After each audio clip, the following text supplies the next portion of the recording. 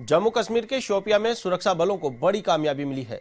सुरक्षा बलों ने सोपोर के अमशीपोरा में आतंकी संगठन Islamic State Jammu and Kashmir के कमांडर इशफाक अहमद सोफी को मार गिराया।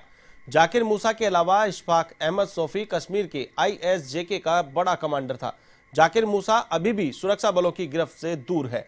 इशफाक अहमद सोफी जम्मू कश्मीर के सोपोर का रहने वाला बताया गया है। सुरक्षा बलों ने जम्मू कश्मीर के शोपिया में इसे मार गिराया है। आईएसजेके के आतंकी इस्फाक अहमद सोफी को अब्दुल्ला भाई के नाम से भी जाना जाता था। इसके पास से आर्म्स और एम्यूनिशन बरामद हुए हैं। आतंकी इशफाक अहमद सोफी के मारे जाने के बाद सोपोर के एडिशनल डिप्टी कमिश्नर ने सभी स्कूल और कॉलेजों को बंद करने के आदेश जारी किए हैं।